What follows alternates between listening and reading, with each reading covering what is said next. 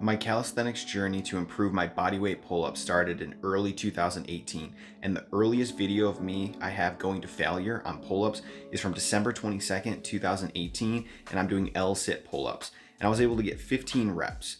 I would continue to work on my pull-up endurance and high rep sets as well as my pull-up strength, with weighted pull-ups, and I was eventually able to achieve over twice as many reps as in this first set after five years of training with slow and steady incremental progress. I spent the majority of my training time working on strength as my main goal was to improve one arm pull-ups, so there were long periods of time in between bodyweight rep PR attempts. At first, and actually for a long time, my form and range of motion was quite poor, but eventually my range of motion improved significantly at the end of those five years. Nonetheless, it's important to keep in mind that progress takes a long time. Some people progress fast faster, some people progress slower, but ultimately progression takes time and you should be proud of yourself and cherish the small micro progressions week to week. Maybe you didn't achieve any more reps on a personal record attempt, but maybe your form was more strict than last time, maybe your range of motion was better. There are many little victories you can have along the way to your goals, so it's important to identify them and celebrate them. Taking videos of your sets will accelerate your progress when you analyze them. You can better reflect on what you did well and what needs work and implement plans to improve your deficiencies. You can easily prop your phone up against something to record record yourself, or investing in a cheap tripod will make life a lot easier in terms of recording yourself. The three factors that helped me progress were consistency, varying up my rep ranges and intensities between workouts,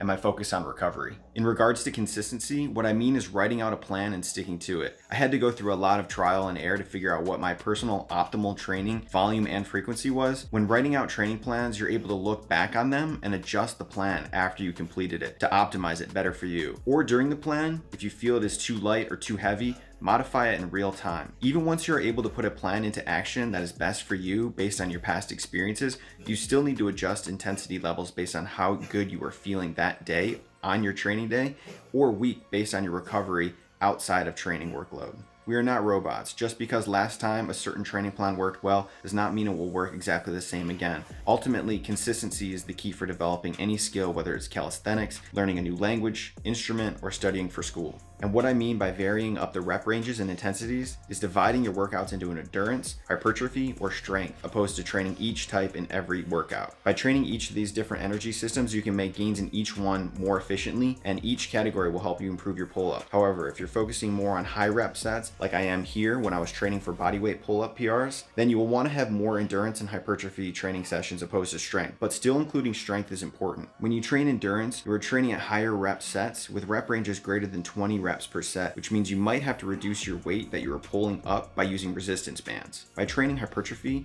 or building your pull-up muscles, you are doing rep ranges of about 10 to 20 reps. To train strength, you are training at higher intensities with rep ranges of about 5 or less. By training each category of rep ranges individually for a training session, you will improve your progress. Lastly, recovery. Recovery incorporates a large variety of factors such as your nutrition, like how are you eating to properly fuel your workouts, and then recovery after by eating nutrient-dense foods with complex carbohydrates high in protein? Or are you eating ultra processed foods and drinking sugary beverages? Recovery also includes sleep. Are you getting enough sleep at night, at least 8 to 10 hours, so that your body heals and repairs itself and energizes you so you're better prepared for your next workout? Essentially, recovery includes everything you do when you're not training. In other words, this is your lifestyle. All the decisions you make outside of your training session will either help you progress faster or make no difference on your progress or slow your rate of progression. Therefore, the better your lifestyle, the faster you will achieve your goals. As mentioned, I took long breaks off training pull-up endurance, but I did play around with combos like this one shown here that starts off with a strength move like the one arm pull-up and eventually transitions into easier moves as I begin to fatigue. For most of 2021 through 2022, I focused on the one arm pull-up and would eventually achieve a 15 pound weighted one arm pull-up at the end of 2023 but in early to mid 2023, I would begin training endurance heavily again. Training pull-up endurance is quite painful due to the pump and muscle burn and fatigue you have to endure for extended periods of time to make gains, so it can be naturally deterring to train. But I always feel really healthy when I train pull-up endurance, and it helps me lean out my physique more than training pull-up strength, which is by my estimation due to the training burning more calories. It feels like it burns quite a bit more actually. One of the many things I enjoy about doing calisthenics is that not only is it incredible exercise, but it's also a hobby. Unlike traditional exercise in a gym, training calisthenics allows you to master body weight movements, which is very stimulating and exciting. It can take years to achieve a single move, and the reward you feel from accomplishing something so physically difficult feels amazing. And this kind of accomplishment will improve your confidence and self esteem, which will translate into other aspects of your life, such as with your job, your relationships with your family, friends, and significant other. But it's not just finally accomplishing accomplishing the goal you set out to achieve, the progress along the way is just as exciting, which helps you keep the passion going for long periods.